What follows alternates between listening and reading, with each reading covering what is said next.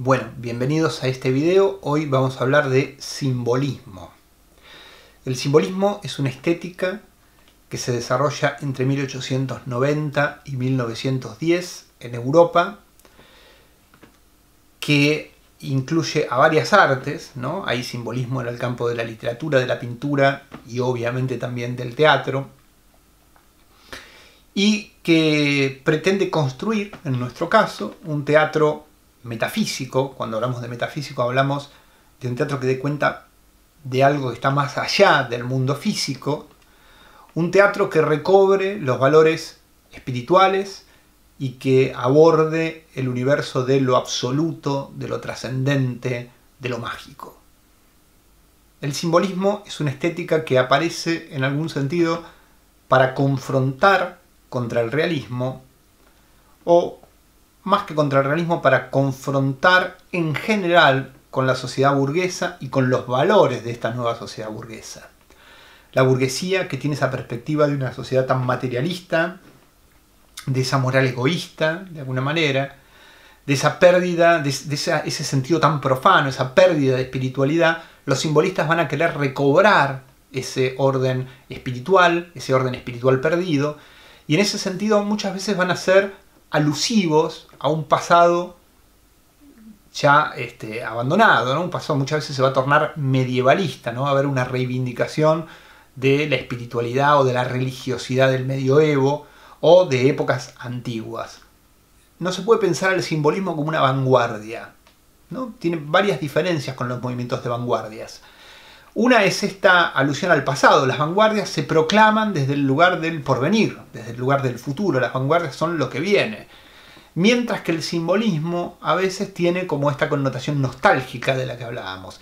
Y eso lo, coloca el simbolismo más bien en un lugar de estética de transición. Es una estética que está... Eh, es como una primera manifestación contra el realismo, pero todavía dentro de la época realista, dentro del predominio de la estética realista. El término simbolismo procede en realidad de una poesía que es la poesía Correspondencias de un autor francés que es Baudelaire, ¿no?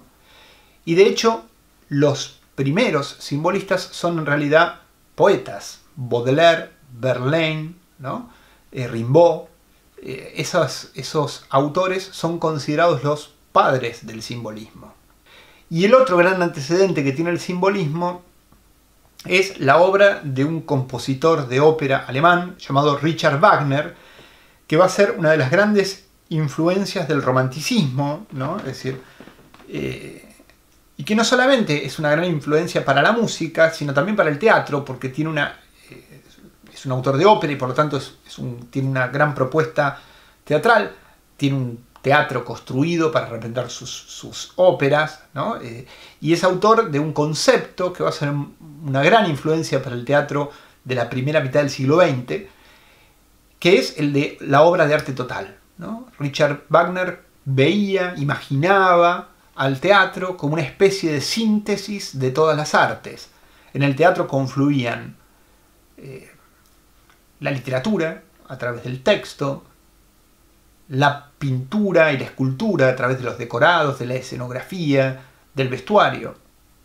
Obviamente la arquitectura, ¿no? a través de la arquitectura teatral, la danza, la música, pensemos que él toma como modelo en realidad la ópera, ¿no? Y entonces aparece esta idea de que el teatro es la suma de todas las artes, que el teatro es la obra de arte total. Vamos a ver que este imaginario wagneriano eh, va a influir mucho en, el simbolismo, va a influir mucho en Artaud, va a influir mucho en, varios, este, en varias líneas del teatro de fines del siglo XIX y principios del siglo XX. En cuanto al contexto de surgimiento del simbolismo, vamos a decir que el simbolismo aparece en el que probablemente sea el punto más alto de la modernidad, fines del siglo XIX, predominio absoluto del racionalismo, predominio absoluto del cientificismo, del positivismo, ¿no? Hay una convicción absoluta en la ciencia, hay una concepción dominantemente materialista del mundo, que es la que promueve la sociedad burguesa, ¿no? Eh, con eh, una especie de filosofía materialista, ¿no? De, de un egoísmo racionalista, de un egoísmo economicista, Hay algo del pragmatismo egoísta del burgués que, eh, que va a ser probablemente eh, aquello que más molesta a los simbolistas. ¿no? Los simbolistas quieren recuperar un mundo perdido espiritual.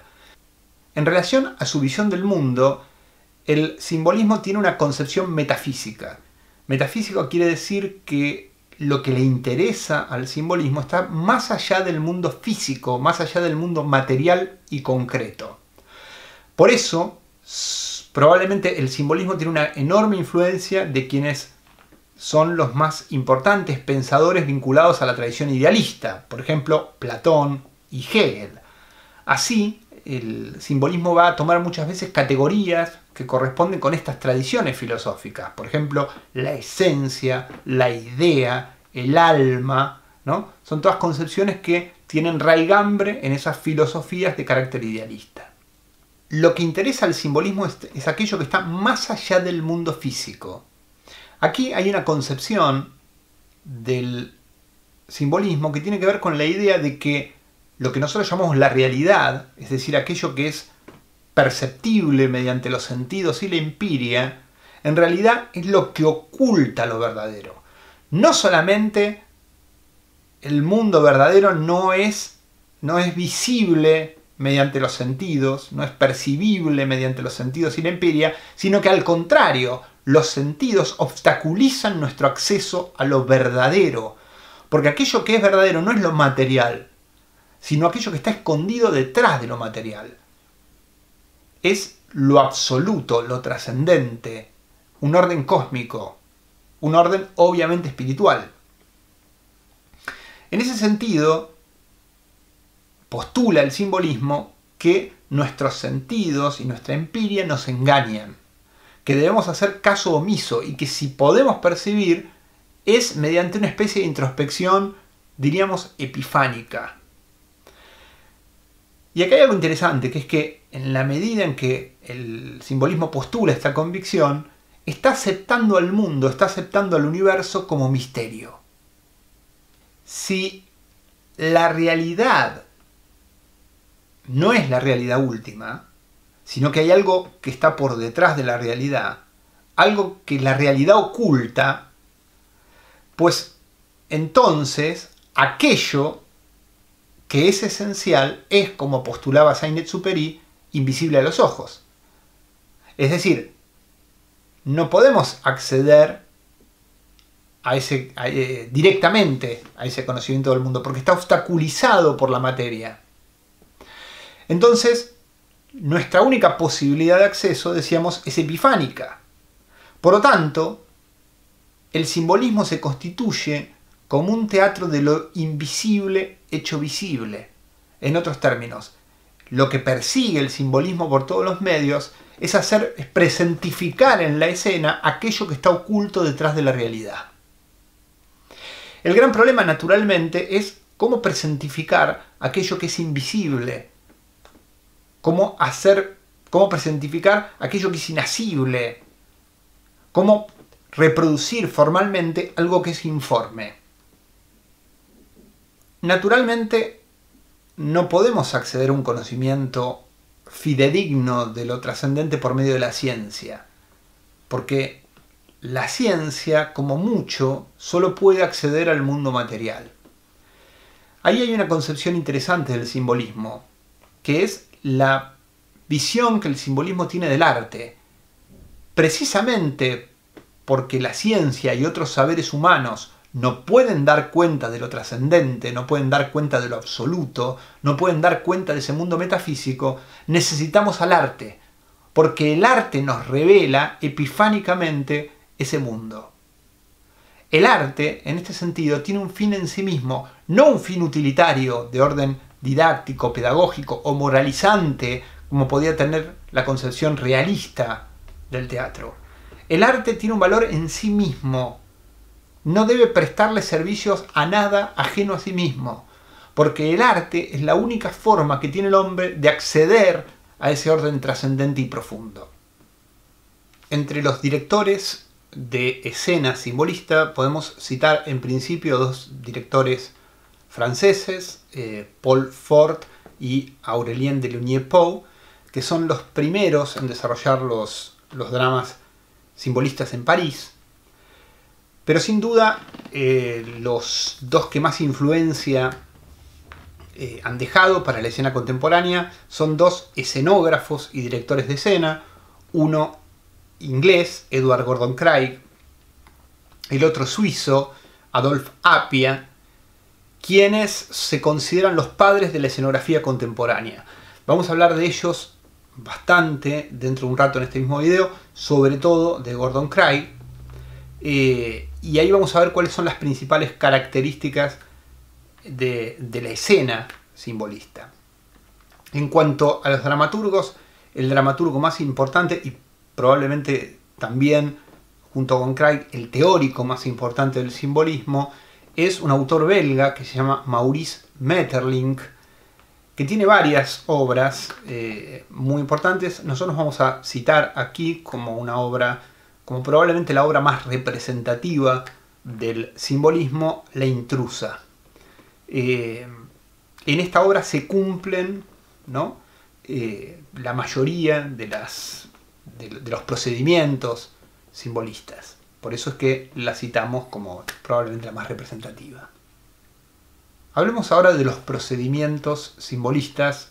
Vamos a hacer lo mismo que eh, hicimos con respecto al realismo. Vamos a hablar de los procedimientos en el campo de la dramaturgia, luego de los procedimientos en el campo de la espacialidad y finalmente de los procedimientos en el campo de la actuación.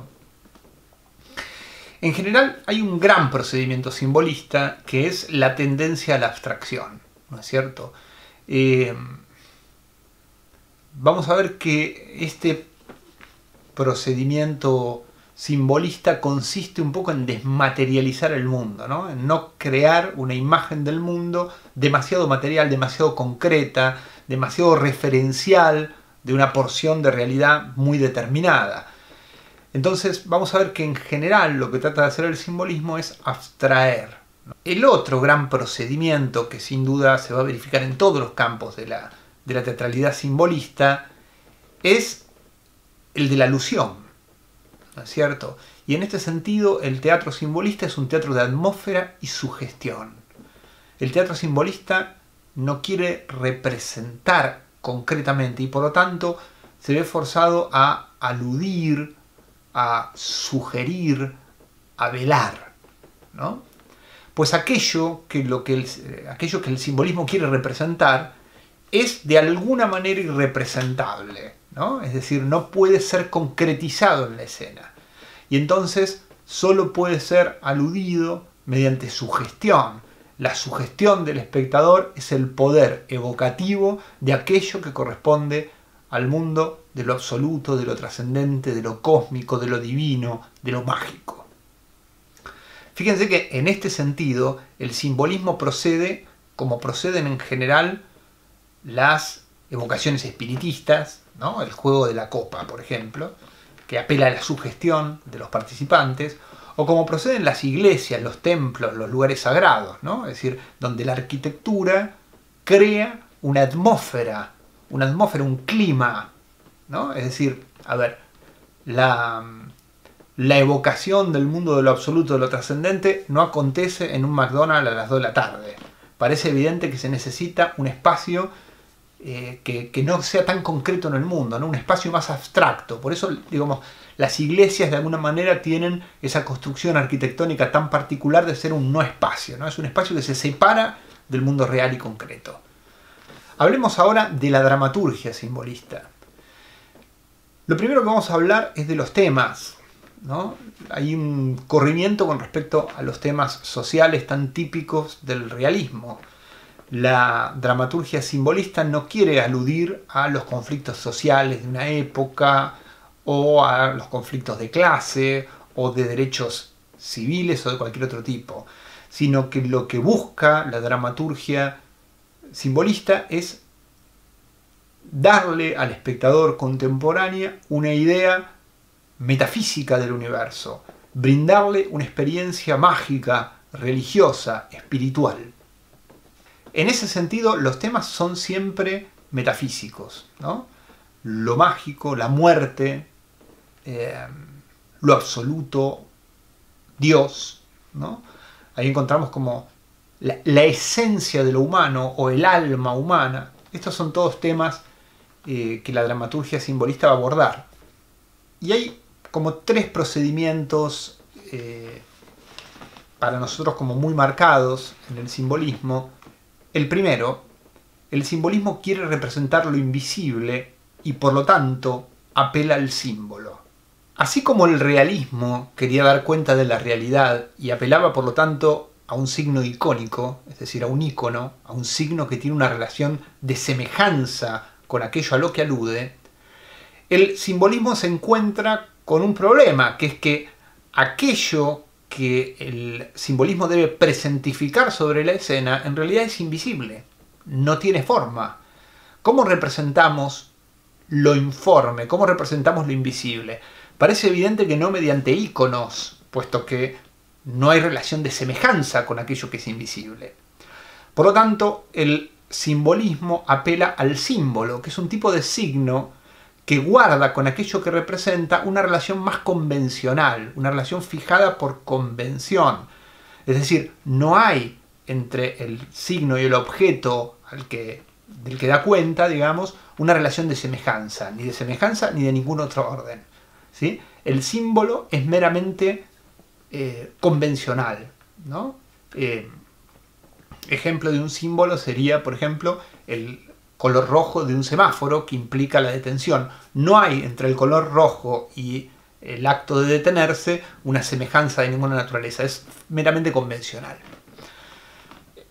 Solo el símbolo, por su carácter convencional y por su orden abstracto, puede configurar de alguna manera lo que es en realidad invisible.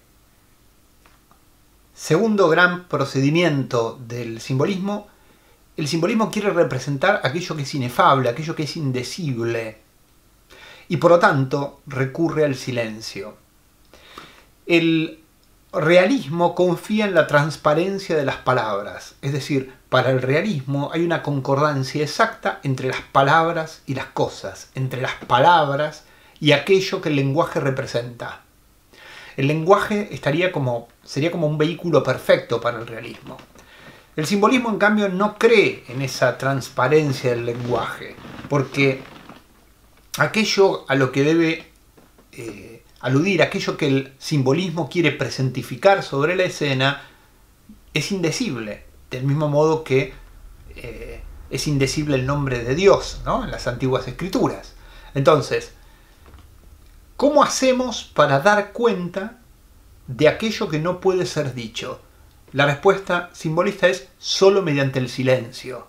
El silencio, el silencio, la pausa y el silencio, de la que van a estar muy pobladas las obras simbolistas, son la forma que el simbolismo encuentra de comunicar aquello que es incomunicable mediante las palabras. El tercer procedimiento, el simbolismo quiere representar lo epifánico y para ello recurre a la quietud, ¿Qué es lo epifánico? Lo, epifánico, la epifanía es una revelación, es una manifestación de lo divino que de golpe el hombre intuye. ¿no? Es decir, eh, otra forma de denominar a esto es lo hierático, ¿no es cierto? Eh, el hombre solo se conecta con lo metafísico, con lo absoluto, con una percepción del mundo no materialista a través de la Epifanía. ¿no? La Epifanía es como una revelación, como un descubrimiento de que de golpe el mundo, que parecía regirse por leyes lógicas, por leyes físicas, uno de golpe intuye que hay otras leyes más verdaderas que esas. Ahora, el gran tema de la Epifanía, que es el, el gran sentido de las obras simbolistas, es que la epifanía es una acción interior y por lo tanto no manifiesta sobre la escena un carácter evidente. Digo, no es una acción física concreta, es una acción espiritual, es interna. Por lo tanto, la forma que encuentran los simbolistas para dar cuenta de esa epifanía es la quietud. vamos a ver que Metterling habla de su teatro como un drama inmóvil. En relación a los personajes, los personajes simbolistas son meramente roles, a diferencia del personaje realista que está constituido mediante una identidad, el personaje simbolista es meramente una función dentro del drama. De allí que, por ejemplo, en el caso de la intrusa, estén nominados como el padre, el tío, eh, el abuelo, ¿no es cierto? No son Jorge Ramírez, 43 años, padre de, etcétera, etcétera, etcétera. No, no es un padre concreto, es un padre en general. No importa quién es, porque su identidad no tiene ningún valor. Lo que tiene valor es que es un cuerpo que va a ser atravesado por un descubrimiento epifánico. Es alguien que va a entender de una manera revelatoria una, una porción oscurecida del mundo. Es alguien a quien se le va a revelar lo mágico. En ese sentido, es muy raro que eh, haya en los dramas simbolistas demasiada información acerca de los personajes. En relación a los diálogos, a diferencia del realismo, el simbolismo trabaja sobre un lenguaje poético. En algunos casos utiliza el verso, en otros casos, aun cuando utilice la prosa, no se priva de la posibilidad de construir materia poética con el lenguaje. ¿no? Vamos a ver que eh, siempre hay una preocupación porque el lenguaje adquiera una fisonomía estética. Hay también una gran musicalidad de la palabra, una rítmica del lenguaje. Musicalidad que obviamente se lleva muy bien con este orden poético, ¿no? literario de la palabra, eh, pero que tiene que ver con la idea de que el simbolismo prioriza la música antes que el sentido. Y por último, ya lo dijimos, hay un tratamiento muy importante del silencio como el espacio en el cual se revela, se manifiesta lo epifánico. La escenografía simbolista se asienta, decíamos hace un rato, sobre los dos directores de escena más importantes del simbolismo, que son Edward Gordon Craig y Adolf Appia.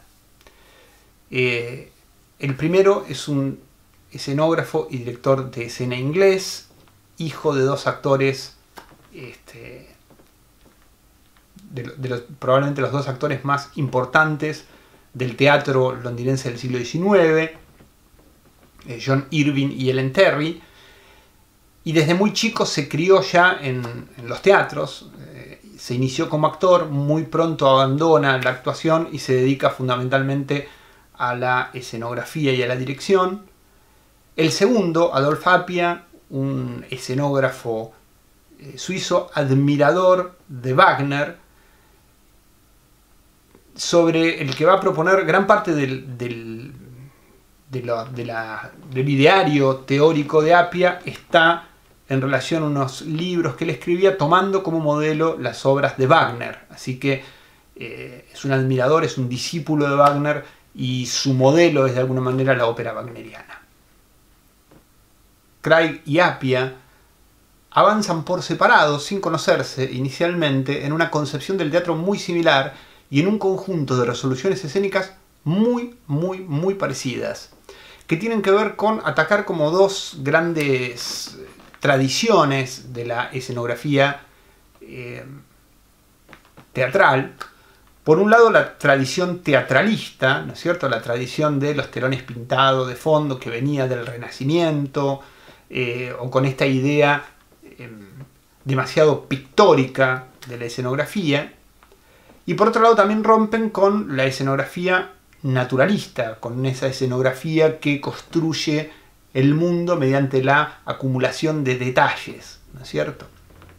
Esas dos tradiciones van a estar impugnadas por estos dos autores, por estos dos directores, que van a producir una espacialidad, digamos, completamente nueva, una espacialidad que se va a hacer cargo de la espacialidad real del escenario, van a levantar la cámara negra y van a tratar de aprovechar toda la profundidad que tienen los escenarios, eh, que tenían los escenarios europeos, ¿no? Eh, y que va a trabajar sobre los principios de abstracción de estilización, de atmósfera y de sugestión. Los dos van a trabajar con la idea de crear un espacio sagrado. El espacio teatral, el espacio en el que acontecen las ficciones, es un espacio mágico, es un espacio constituido a la, manera de las iglesias, es un espacio abstracto que se corre del mundo, que no representa ningún lugar concreto, es un lugar eh, dotado de una, de una gran espiritualidad. Por otro lado, trabajan con la hipótesis de construir espacios monumentales, aprovechando toda la escena, todo el espacio escénico, van a levantar la cámara negra de los teatros, van a aprovechar todo el espacio que hay por detrás y a los costados, para crear espacios de una gran monumentalidad, ¿no es cierto? Espacios eh, que recurren, sin embargo, a muy pocos elementos, muy límpidos, muy minimalistas. Espacios que tienen una tendencia a la abstracción, en la cual no hay prácticamente ornamentación ni objetos. Son espacios construidos a partir de volúmenes geométricos, de rampas, de escaleras, que crean como eh, edificios que no representan ningún lugar concreto, que no se sabe si es un interior, un exterior, que no se sabe qué lugar del mundo es. En realidad es ningún lugar, es un no lugar. Estos espacios, entonces, eh, constituyen la escenografía moderna, la escenografía contemporánea, por varias cosas. Primero porque eh, son espacios configurados de acuerdo a una gran flexibilidad. Eh, Gordon Craig trabajaba con unos volúmenes a los que llamaba screen, que eran volúmenes, digamos, móviles, a partir de los cuales, con un número determinado de estos volúmenes podíamos configurar, de acuerdo a diversos agrupamientos, escenas muy distintas. Esto resolvía un problema importante en la época, que eran los cambios escenográficos, ¿no es cierto? Eh, en una obra en cuatro actos, donde teníamos, por ejemplo, tres cambios escenográficos, o cuatro cambios escenográficos, pero tres entre actos, eh, un cambio de este tipo tardaba 20 minutos, por lo tanto, tres entreactos significaban una hora de espera para la gente. Em, con los screen, con esta idea de los volúmenes móviles, Craig soluciona este problema y es capaz de configurar espacios muy distintos en muy, muy poco tiempo. A esto habría que agregarle la luz. La luz que hasta este momento había cumplido meramente su función más evidente, que era iluminar, a partir de 1880 aparece toda una serie de nuevas posibilidades derivadas de la instalación en los teatros europeos de la iluminación eléctrica. Hasta 1820 probablemente ustedes recuerden que la iluminación era a candiles, a velas o a, cebo, a partir de, eh, o a lámparas ¿no? de, de aceite, a partir de 1820 en los teatros europeos se instala la iluminación a gas y a partir de 1880 aparece la iluminación eléctrica. Así que hay una serie de saltos tecnológicos, digamos, de la escena europea que Appia y Craig van a aprovechar mucho, sobre todo lo vinculado a la luz eléctrica, porque la luz eléctrica permite muchas cosas que la iluminación anterior no permitía, desde sectorizar, recortar, eh, cambiar intensidades, por supuesto todo lo que tiene que ver con el color de la luz. Entonces hay todas nuevas investigaciones que van a desarrollar API Craig sobre la luz que van a también potenciar las posibilidades de esa escena abstracta eh, con la que trabajaban en la medida en que un mismo escenario iluminado de formas diferentes crea la sensación de lugares distintos.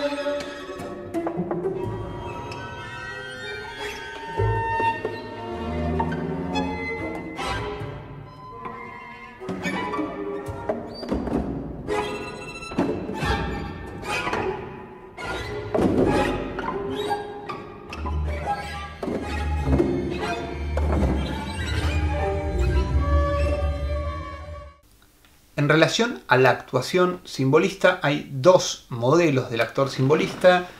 Eh, vamos a ver que en realidad tienen grandes similitudes.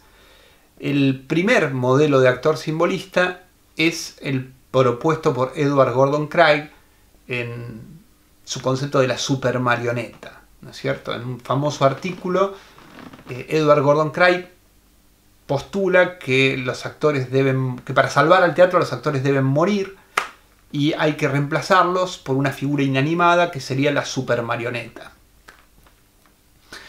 Eh, y hace Craig toda una especie de raconto según el cual la marioneta, el muñeco, el títere, tiene en realidad un origen divino, ¿no? pues descienden de las viejas estatuas, de los viejos ídolos que se situaban en, en el fondo de los teatros griegos, detrás del esquené, y que representaban a un dios. ¿no? De esa manera, digamos, el muñeco, la marioneta, representa a un dios, tiene un carácter divino.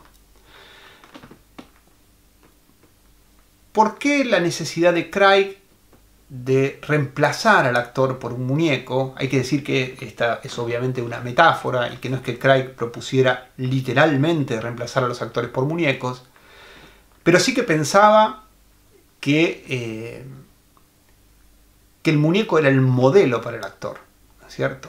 El muñeco era el modelo para el actor, era casi un tono de actuación el que buscaba. Hay que decir primero que esta era una época donde el teatro de títeres o de marionetas prosperaba. Varias de las obras de Metterling estaban escritas para títeres.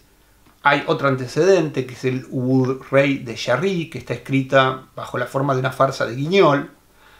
Eh, entonces digo, había todo un contexto en el cual eh, había una reivindicación del teatro de, de títeres, de muñecos, de marionetas. Pero después, y sobre todo, lo que piensa Craig es que la única forma que hay de eliminar al naturalismo es corriendo al actor naturalista, corriendo al actor realista. La idea de una marioneta, de un títere, es un elemento que ya deporta a la escena un carácter no natural, un carácter artificial, un cierto carácter abstracto y un carácter mágico. Y el muñeco tiene otra ventaja con respecto al actor, que es que el, actor está obligado a manifestar su estado interno mediante signos visibles en el rostro. Es decir, el actor está obligado a materializar su espiritualidad, materializar su mundo interno. El títere no. El títere basta que enuncie su estado interno para que uno lo acepte porque el títere naturalmente no tiene la posibilidad de manifestar físicamente su sensación interna. Entonces, la marioneta es el modelo que propone Craig para el actor, con la ventaja de que la marioneta es dócil y puede ser manipulada de acuerdo a los intereses de la dirección.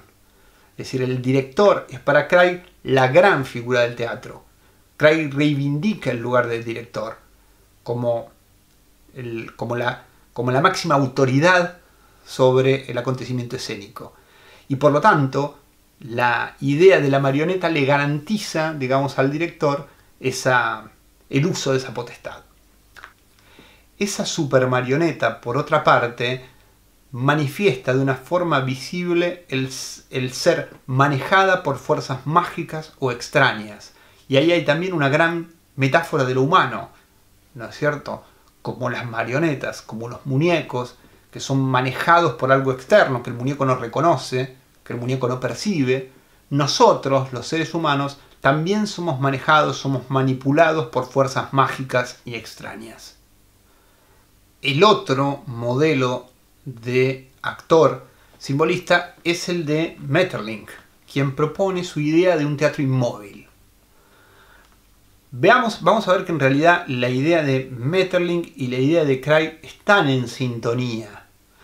Básicamente lo que propone, el tono de actuación que propone Metterlink es el tono de una escena de predominio de la quietud, una escena en la cual no hay una ampulosa demostración de la emocionalidad de los personajes, las emocionalidades están contenidas, eh, en la escena hay muy poca acción externa, todo pasa por la acción interna, que es, como decíamos, epifánica, y digamos, ese teatro eh, es, es un teatro fundamentalmente centrado en la construcción de una atmósfera. Es muy difícil encontrar hoy por hoy obras simbolistas. Claramente el simbolismo está como vinculado a una época. Hay algunos autores que han desarrollado estéticas cercanas al simbolismo después. El ejemplo por ahí más claro es el de Federico García Lorca, ¿no? Podemos hablar de, este, de Yerma, por ejemplo, eh, o de cualquiera de sus obras en realidad, donde hay muchos procedimientos simbolistas. Es más difícil verlo en la escena contemporánea. Eh, se me ocurre como un ejemplo de obra simbolista contemporánea, ahora argentina, el trabajo que hace Ariel Farace, por ejemplo, en Constanza Muere. Creo que en el caso de Farace hay otras obras en las que también toma procedimientos simbolistas, pero lo que nos queda del simbolismo es justamente sus procedimientos, su técnica, su visión del mundo, su ideario, eh, que los autores contemporáneos pueden conjugar de distinta forma en espectáculos que no obedecen únicamente una perspectiva simbolista, pero que pueden acopiar algunos de sus procedimientos. Bueno, hasta aquí el video relativo al simbolismo.